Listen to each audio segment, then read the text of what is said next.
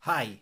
So our next step will be connect to the price protector. You will do that by click here to connect to the price protector to your eBay account. Let's do it.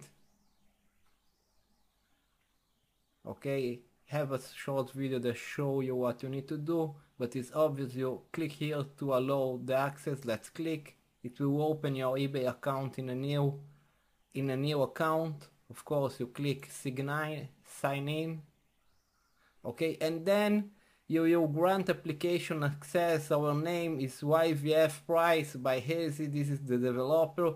You click agree. Okay and the last step thank you. The last step is very very important. After login is finished click here. So you click here.